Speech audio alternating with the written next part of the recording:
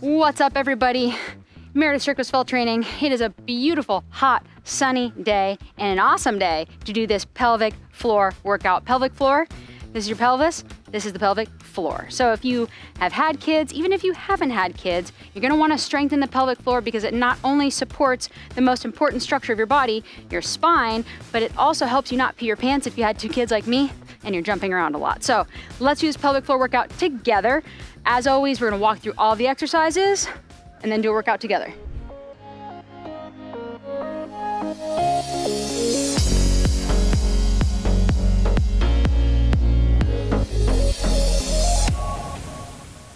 All right, here we go. First things first, a primary movement, the squat. I know, it's tough. We're gonna do this together. Chest up, shoulders back, a little bit wider than your shoulders, okay? And I want you to put your hands together. I want you to sit back into your heels. Sit back into your heels because I want you to use bigger muscle groups like your quads, back your legs, and the top, right? Your inner thighs. Super important that you sit into your heels and your toes are almost up off the ground because that's gonna prevent knee problems. So if you're doing this, like, yes, my knees would hurt too, and yours probably do. You don't have to go down that low if you don't feel like you have balance, okay? Sitting, if you wanna hold onto a chair, you can do that too. And you wanna drive up. So we're doing squats, then we're gonna do a bridge. So bridge, it's like a hip press. We've done this before. We break it into three steps.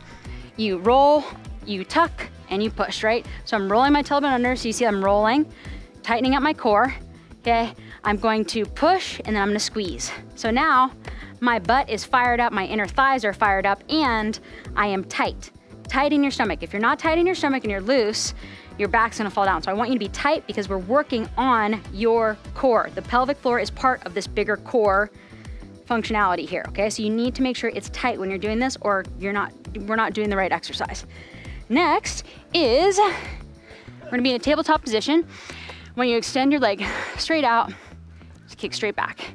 So notice how I'm, I'm very much flexed in my arms and my hands are nice and wide when I'm doing this and I'm flexing my toes towards my fingertips because if you point, it's a different feeling. When you point, it's more your lower back. When you flex, it's more of your hamstring and your legs. Take your breath, same thing, same, same sing. Same thing, everybody, same thing. This happens when you're sweaty and hot and you don't have any water. So pushing back your leg, remember you're flexing back and you're gonna feel it in the hamstring, going 15 seconds on each side. Then we're going into a bird dog. You guys have done before. Opposite arm, opposite leg, same tabletop, right leg straight, left arm straight, thumb to the sky, pointing your toes this time, okay? Then we're gonna drop and we're gonna switch. This one's super important that you're controlled and slow and intentional with your movements because if you're like this and you're all out of whack, you actually end up hurting yourself. So if it's too much, what you can do is start with right leg, down, left arm, down, right arm, down, left leg, down. So you can roll it like that. Final exercise, oh, a little bit of cloud cover. Dead bugs. You guys have seen these before. Very important that you take a breath, keep your legs in this tabletop position, don't let them rest, okay? You're gonna extend that right leg in the left arm, and then you're gonna switch. Okay, if you want a little bit more of your upper core, you can tuck your chin. Lower core, head down, but you must really ground your lower back. So I'm pushing in, okay, this way, ready? Just down straight like that, right? So we're really focused on moving your body as one. So as if you have a string when your leg goes down, it pulls your arm down too, right? That opposite side. Like you wanna make sure that it's succinct in that movement because if it's not, then we're not connecting all the pieces. It's so important.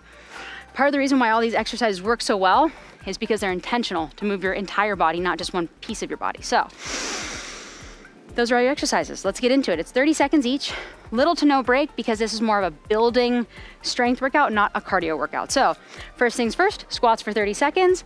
Get your water, get yourself together, wipe your sweat, pull up your shorts, pull down your shorts, whatever you need to do because we are starting in three, two, one, and squat down and press. Really intentional in this pressing.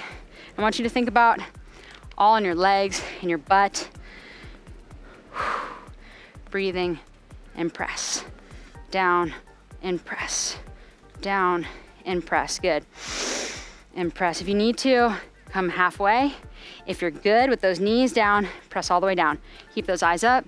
Press all the way back. Five seconds. Four, three, two, one. Down for the bridge. 30 seconds. The nice thing about this workout is can wake you up, right? So big breath, 30 seconds starting right now. Roll, press, squeeze your legs together. When I say squeeze your legs together, I mean try to drive your knees together without actually touching your knees. Super important because your, your lower, sorry, your upper thighs, like your inner thighs, gonna be super tight. And then you're gonna have that core super tight. Hands, maybe reaching for your heels, really feeling it in those hamstrings. Taking that breath and flexing the arm. So I'm, I'm relaxed and I'm flexed. If you flex everything, it's like you're working everything, right? So take that big breath, rotate your neck if you need to. Take that breath, five seconds, four, three, two, and rest. Take your time, you're on your back. Please do not pass out. Take as much time as you need to rotate, especially if you're on your back, especially if you're closing your eyes, okay? So now we're in that flex position. Take a big breath, flex that right toe back towards your fingertips, flex, pull in the core. I'm going 15 seconds here and then we're gonna switch. So the key is here, pull in the core, flex the arms, okay? Focus on something out in front of you. And one, switch. Be very intentional about your movements. Slow it down if you need to. This is a building, we're not rushing through these. There's a time and a place to get that heart rate up because you're moving quickly. It should not be this one. It should be this one because you're really, like really making sure that your body is tight and transition right into those bird dogs. Take a big breath, opposite arm, opposite leg, right and left together. Okay, you can move your hand right underneath your shoulder and then switch. Remember, you can do one at a time if you need to. But I want you to feel like you're solid before you move. Fingertips, toes. I'm super solid. I know that I'm moving my body as one unit as I do this. Because I don't want to be off center, right? Big breath. Coming to the end of our first round after these dead bugs. And let's do one more on the right side one more on the left side. Okay? And then we're going right into dead bugs. Okay? Take your time, flip over. Part of it's a transition too, right? These movements where you're down, moving in weird positions, so great for your body because it's just extra movement. You're not even trying to do that stuff.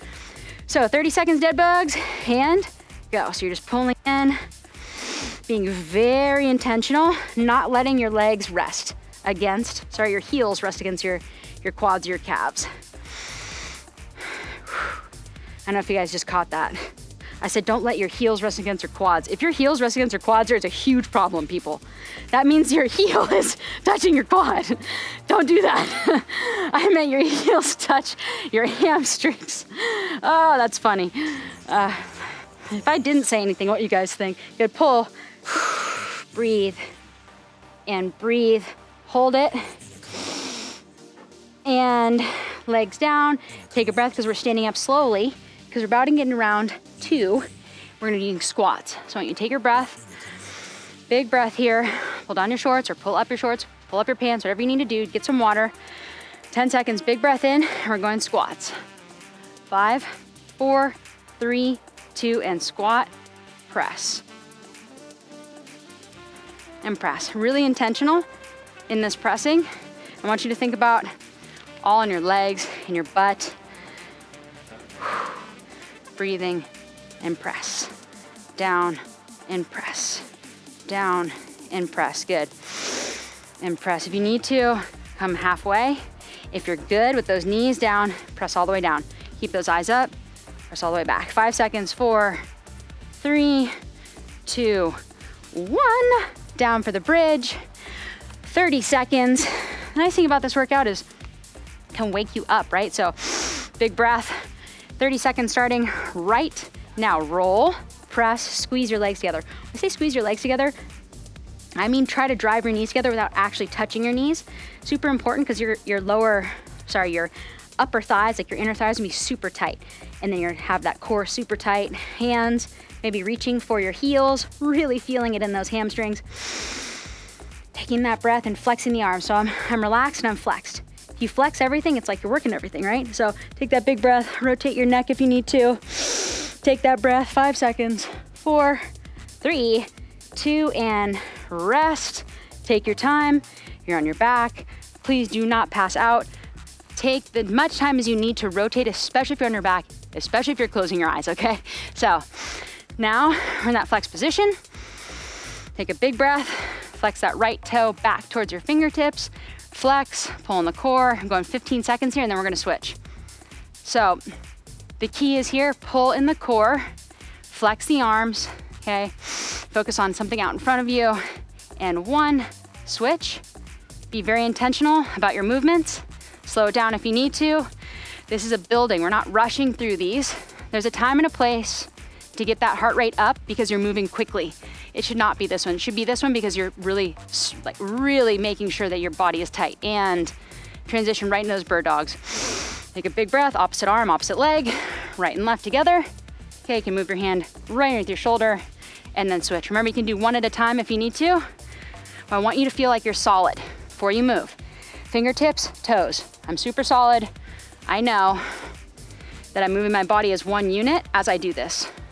Because I don't want to be off center, right? Big breath. Coming to the end of our first round after these dead bugs. And let's do one more on the right side and one more on the left side. Okay? And then we're going right into dead bugs. Okay?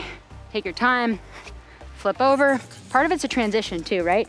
These movements where you're down, moving in weird positions, so great for your body because it's just extra movement. You're not even trying to do that stuff.